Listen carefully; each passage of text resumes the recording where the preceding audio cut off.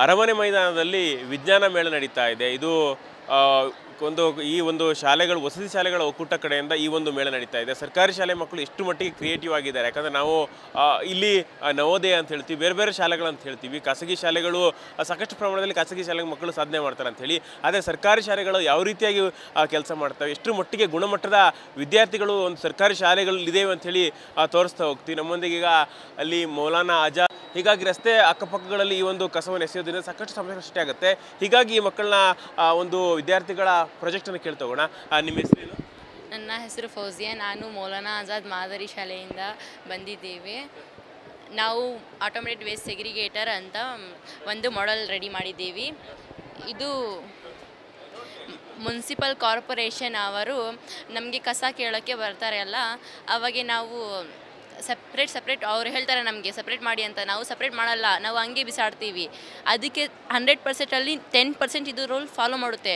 Ninety percent ಮಾಡಲ್ಲ. ಅದಕ್ಕಾಗಿ ನಾವು ಇದು ಆಟೋಮೆಟಿಕ್ ವೇಸ್ಟ್ ಸೆಗ್ರಿಗೇಟರ್ ಅಂತ ಮಾಡಿದ್ದೀವಿ ಅದು ಸಪ್ರೇಟ್ ಒಣ ಕಸವನ್ನು ಸಪ್ರೇಟ್ ಮಾಡುತ್ತೆ, ಹಸಿ ಕಸವನ್ನು ಸಪ್ರೇಟ್ ಮಾಡುತ್ತೆ.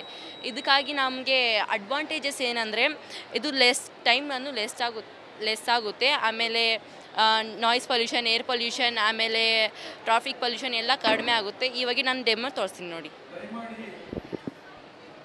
ಇದು ಒಣ ಕಸ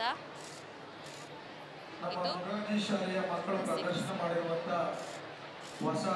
ಇದು ಮಾಡಿದ್ರೆ ಇದಕ್ಕೆ ಮಾಡಲಿಕ್ಕೆ? ಇದು ಇದು ಐಆರ್ ಆರ್ ಐ ಸೆನ್ಸರ್ ಅಂತ. ಇದು ಮಾಯಿಶ್ಚರ್ ಸೆನ್ಸರ್ ಇದು ಗೇರ್ ಮೋಟರ್ ಇದು ಮೋಟರ್ ಡ್ರೈವರ್ ಇದು ಎಲ್ಲ ಮಾಡೋದು ಮೈಕ್ರೋ ಕಂಟ್ರೋಲರ್ ಮೈಕ್ರೋ ಕಂಟ್ರೋಲರ್ ಆಮೇಲೆ ಇದು ಪವರ್ ಸಪ್ಲೈ ಹಾಂ. ಹಾಂ. ಹಾಂ ಇದು ಐ ಆರ್ ಸೆನ್ಸರ್ ಮೇಲೆ ಏನಾದರೂ